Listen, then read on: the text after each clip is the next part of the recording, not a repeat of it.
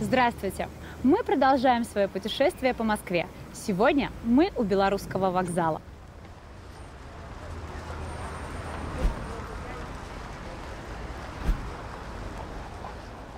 В 1971 году на экраны выходит одноименная картина Андрея Смирнова о встрече фронтовых друзей.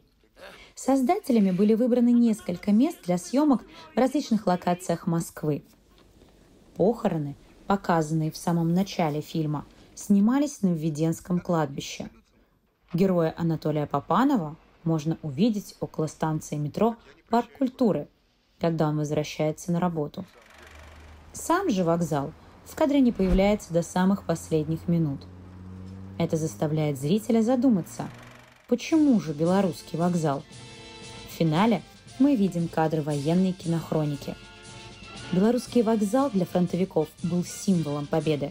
Именно туда они приезжали 9 мая 1945 года. А какие фильмы о победе ваши любимые? Пишите в комментариях.